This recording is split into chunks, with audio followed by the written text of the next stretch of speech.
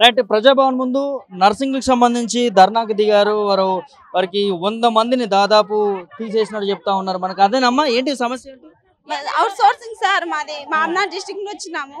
మా మాకు రెగ్యులరైజేషన్లో ఆ- పాయింట్ వన్ మార్క్స్తో రెగ్యులర్ జాబ్ పోయింది సార్. అది పోయిందనే బాధ ఉండగానే సడన్గా ఫోన్ చేసి మీకు రెగ్యులర్ వాళ్ళు వచ్చిండ్రు మిమ్మల్ని టర్మినేషన్ చేశామని చెప్పేశారు సార్. నాకు ముగ్గురు ఆడపిల్లలు నా భర్త పేషెంట్ సార్. నా సంసారం దీనిపైనే నడుస్తుంది సార్. ఇప్పుడు నేను బతకాలి సార్? ఎలా బతకాలి? నాకేం చేయడానికి లేదు ఇప్పుడు. నా ఏజ్ గిట్టంగా అయిపోతుంది సార్. సాయం చేయండి సార్ సార్ నాకు సొంత ఇల్లు గిట్టంగా లేదు సార్ భూమి గిట్టంగా లేదు సార్ ప్లీజ్ సార్ నాకు సాయం చేయండి సార్ తప్పకుండా తప్పకుండా మీ పట్ల కొట్లాడతామమ్మా. సో ఉన్న పలంగా తీసేసారమ్మా ఉన్న బలంగా సార్ రాత్రికి రాత్రి ఫోన్ చేసిండు సార్ టర్మినేషన్ చేసినాం మిమ్మల్ని మీరు రావద్దని చెప్పారు సార్ ఉమ్. ఎన్ని ఇయర్స్ చేశారమ్మా ఎన్ని సెవెన్ ఇయర్స్ నుంచి చేస్తున్నాం సార్. ఆగండమ్మా. మాకు సార్లు నైన్ మంత్స్ ఒకసారి సెవెన్ మంత్స్ ఒకసారి ఫైవ్ మంత్స్ ఒకసారి వచ్చినాయి సార్. ఉన్న గోల్డ్ అమ్ముకొని పిల్లలను చదివించుకున్నారు సార్. ఇప్పుడు ఏమీ లేదు సార్ నాకు. ఇప్పుడు నా పిల్లలు రోడ్డు మీద పడతారు సార్. వాళ్ళ చదవడానికి గిట్ట నా దగ్గర డబ్బులు లేవు సార్. ఏడో కేడో ఒక ప్రభుత్వం ఖచ్చితంగా మీకోసమే ఈ ప్రజాపాలనను పెట్టింది. మిమ్మల్ని ఖచ్చితంగా ఆదుకుంటది. కానీ ఉన్న పలంగా తీయాల్సిన కారణం ఏంటి? అసలు ఎందుకు తీసేశారంట మిమ్మల్ని? రెగ్యులర్ వాళ్ళు వచ్చిండ్రు మీ ప్లేస్లో. మేము ఇద్దరు ఇద్దరికి జీతాలు ఇవ్వలేము. మిమ్మల్ని టర్మినేషన్ చేసినాము. మీరు ఏం మాట్లాడొద్దు. ఏం ధర్నా చేయొద్దు. మీకు అట్లనే తీసుకున్నాము అలాగే పోవాలి అని చెప్పినారు సార్. ఏడు సంవత్సరాలు సేవలు అందించి ఇప్పుడు రెగ్యులర్ వాళ్ళని తీసుకోండి మిమ్మల్ని తీసేస్తామో అని చెప్పి అంటున్నారా? తీసేసినారు సార్ ఇక. తీసేసినారు తీసేసినారు. సార్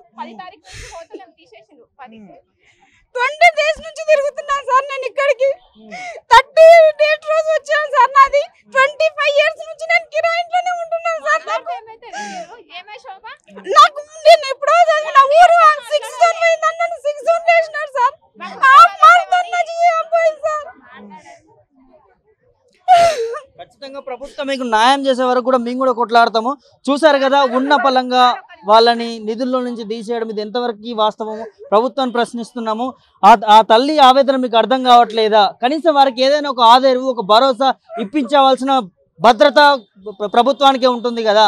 ఎందుకు ఇంతమంది ఆ, మహిళల జీవితాలతో ఆడుకుంటుంది ప్రభుత్వం ఇవాళ రెగ్యులరైజేషన్ వచ్చినప్పుడు ఇలాంటి సేవలని వాళ్ళకి గుర్తించి వారికి ఏదో విధంగా ఒక భరోసా ఇప్పించాలి కదా ప్రభుత్వము. ఎమర్జెన్సీ మా ఫాదర్ని కూడా నేను కోల్పోయింది సార్. కరోనా టైంలో చేసి మా నా నుంచి మా ఇంట్లో వాళ్ళు అందరికి వచ్చి మా నాన్న కూడా చనిపోయింది సార్ నాకు. నాకు కూడా ముగ్గురు ఆడపిల్లలు ఉన్నారు సార్ ఇప్పుడు. సెవెన్ ఇయర్స్ నుంచి చేస్తున్నాం సార్. మాకు ఉద్యోగాలు వస్తాయని కాంగ్రెస్ పార్టీకి ఓటేసి గెలిపించుకుంటే మాకు ఉన్న ఉద్యోగాలు కూడా ఇప్పుడు రోడ్డు మీద పడినాం సార్ తీసేసి. మేము ఎట్లా బతకాలి సార్? ఏడవద్దమ్మా ఖచ్చితంగా మీ గొంతుని మేము ప్రభుత్వం వరకు తీసుకుపోయే ప్రయత్నం చేస్తాము. మీకు న్యాయం జరిగేటట్టు కూడా చూస్తాము. మీకు ఇప్పుడు ఏం న్యాయం కావాలంటున్నారమ్మా మరి? మాకు కనీసము. కనీసం మాకు మా ద మా డిస్టిక్లో కాంట్రాక్ట్ జాబ్స్ ఇప్పుడు ఉన్నాయి సార్. అవన్నీ మాకు ఇప్పించండి ఏదో ఒకటి చేయమండి సార్ ఇప్పుడు. ఏదో ఒక జాబ్ ఇస్తే సార్ మాకు ఏదో ఒక జాబ్ ఇచ్చి ఆదుకుంటే సార్ సార్. మాకు అంతే ఇది కావాలి అది కావాలి మేము ఏం అడగట్లేదు సార్.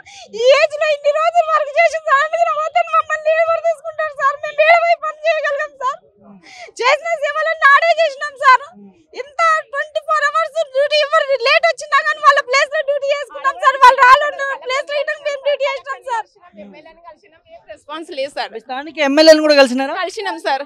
కలిసినాము ఆడ కూడా డిస్టిక్ హాస్పిటల్ కలెక్టర్ని కూడా కలిసినాం సార్. త్రీ టైమ్స్ నిన్న కూడా పోయినాం సార్. అక్కడ ఏం స్పందన లేదు. డిఎం అని కూడా కలిసినాం సార్. మీరు అక్కడ హెల్త్ మినిస్టర్ పోయి అక్కడ కొట్లాడండి ఈడికి ఎందుకు వస్తారు అని చెప్పింది సార్. నేను ఎండొచ్చు హెల్త్ మినిస్టర్ దగ్గర తీసుకెళ్ళారా అమ్మ రాజనరసింహ దగ్గరికి? పిల్లలేదు సార్. ఇప్పుడు ఇక్కడ కల్వానీకనే వచ్చినాం సార్ ఈ రోజు అక్కడ కూడా. లేరని చెప్పిండ్రు సార్. మిమ్మల్ని ఉన్న పలంగా మిమ్మల్ని తొలగించి ఇంతమంది మహిళల జీవితాల్లో ఇలా ప్రభుత్వము చిన్న చూపు చూసింది. సో ఖచ్చితంగా ప్రభుత్వం దిగి వచ్చే వరకు కూడా మీకోసం కొట్లాడతాము. ఇప్పుడు ఎప్పుడు జరిగిందమ్మా ఈ సంఘటన? ఎప్పుడు? పది తారీఖు సార్. పది తారీఖు. తొమ్మిది. తారీఖు సార్. ఫిబ్రవరి తొమ్మిది తారీఖు నుంచి మాకు నైట్కే ఫోన్స్ వచ్చినాయి సార్. టర్మినేషన్ అవుతుండ్రు మీరు ఏం డ్యూటీలకు రావద్దని చెప్పిండ్రు సార్. ఇంకా ఆ రోజు నుంచి ఇంకా మేము వెళ్ళట్లేదు సార్. ఎంత ఇచ్చేదమ్మా సాలరీలు అప్పుడు? అప్పుడు ట్వంటీ ఫైవ్ అన్నారు కానీ మాకైతే ఇరవై వేలే వేసింది సార్. పిఎఫ్ కట్ట ఇరవై వేలు. అవి కూడా రెగ్యులర్ రాకుండా. ఫోర్ మంత్స్కి ఒకసారి ఫైవ్ మంత్స్కి ఒకసారి అవి వస్తుండే సార్. రెగ్యులర్ కూడా ఎప్పుడు రాలి. అయినా ఇప్పుడు త్రీ మంత్స్ శాలరీ డ్యూ ఉంది సార్ మాకు. పలంగా తీసేశారు. తీసేసాం. మీ పేరమ్మా? హేమలత? హేమలత. నేను మామనార్ డిస్టిక్ నుండి సార్. గవర్నమెంట్ హాస్పిటల్లో వర్క్ చేస్తున్నా సార్. జిఎంసి నుండి. పది తారీఖు నుండి మమ్మల్ని తీసేసింది సార్. సడన్గా ఫోన్ చేసి మీరు రావద్దు టర్మినేషన్ అయ్యిండ్రు అని తీసేసిండ్రు సార్. తీసేశారు. ఎందు- ఎందుకు తీసేశారని అడిగారా మీరు ఏమైనా కారణం? సార్ రెగ్యులర్ వాళ్ళు వచ్చిండ్రు. అంటేనే తీసేసిండ్రు సార్. రెగ్యులర్ వాళ్ళు వచ్చిండ్రు మీరు అవుట్ సోర్సింగ్ వాళ్ళు వద్దని తీసేసిండ్రు సార్. ఎలాంటి భరోసా కల్పించలేదు? ఏం కనిపించలేదు సార్ మాకు. అర్ధాంతరంగా తీసేసిండ్రు. ఇప్పుడు ఎక్కడ వాళ్ళో? అర్థమైతలేదు సార్ మాకు. ఎక్కడ పోయినా న్యాయం జరుగుతలేదు సార్ మాకు. పది రోజుల నుండి తిరుగుతున్నాం. సార్ అసలు. అసలు తిండి కూడా సరిగా లేదు సార్ మాకు. ఎందుకు ప్రజాపాలన కదా రేవంత్ రెడ్డి? ప్రజల పక్షాన్నే ఉండాలి ప్రజాభవన్ ముందు ఇక్కడ లోపలనే ఉండాలి కదా? మీరు వచ్చిన సమస్యలు తీసుకొని సమస్యలు పరిష్కరించాలి కదా? సీఎం కానీ వచ్చి కలిసిండు సార్. మేము అపాయింట్మెంట్ కూడా అడిగినాం సార్ కానీ ఇంకా అపాయింట్మెంట్ లెటర్ కూడా రాసి వచ్చిన అంటే ఫోన్ వస్తాయని చెప్పిండు. ఫోన్ కూడా చేయలేదు సార్. పోయిన మండే పోయిన. వన్ వీక్ అవుతుంది. అక్కడ నుంచి కూడా ఏం మాకు స్పందన లేదు సార్. లేదు. లేదు.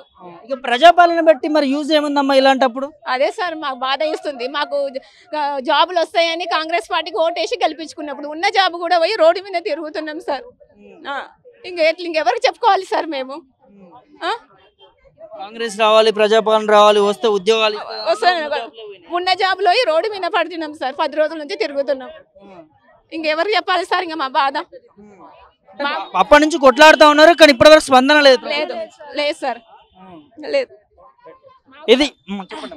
మాకు కూడా అదే regular job five marks cut అవడం వల్ల మా ఉద్యోగం పోయినా సార్. మేము అందరము వెరిఫికేషన్ వరకు పోయినాం సార్.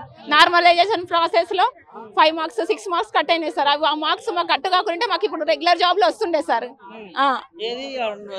రిక్రూట్మెంట్ సంబంధించిన మార్క్స్ కట్ అవడం వల్ల మాకు ఇప్పుడు ఉద్యోగాలు రాలేదు సార్. ఫైవ్ మార్క్స్ ఒకరు సిక్స్ మార్క్స్ కట్ అయినాయి సార్? నార్మలైజేషన్ వల్ల. అక్కడ న్యాయ- అన్యాయమే జరిగింది ఇక్కడ అన్యాయం ఏమే జరిగింది సార్ ఇంకా ఇంకా ఎవరికి చెప్పుకోవాలి సార్? లాస్ట్ ఇయర్ వరకు వచ్చినాం ఇంకా ఇంకా మా తరఫున మీరేమన్నా కొట్లాడాలి సార్? సీఎం సార్ వరకు. చూశారు కదా ప్రజాపాలనలో రేవంత్ రెడ్డి ముఖ్యమంత్రి గారు ప్రజాపాలనలో ఇక్కడ ఉండకుండా ఇంటి దగ్గరికి వెళ్ళినా కూడా తీరని సమస్యలు ఉన్నాయి ఇలా తెలంగాణ రాష్ట్రంలో. ఎందుకోసం పెట్టారు ప్రజాపాలన? ప్రజల సమస్యలు తీర్చుకోవడానికి పెట్టారా లేకపోతే పేరుకే పెట్టారా అని చెప్పి ఇక్కడ వంద మంది నర్సులు ధర్నా చేస్తున్న నేపథ్యం మనం చూస్తూ ఉన్నాము. ప్రభుత్వం దిగి రావాలి వారికి ఆ న్యాయం చేయాలని చెప్పి కూడా వారు కోరుతా ఉన్నారు. ఖచ్చితంగా పది రోజుల నుంచి వారు వారి గోస ప్రభుత్వానికి అర్థం కావట్లేదట.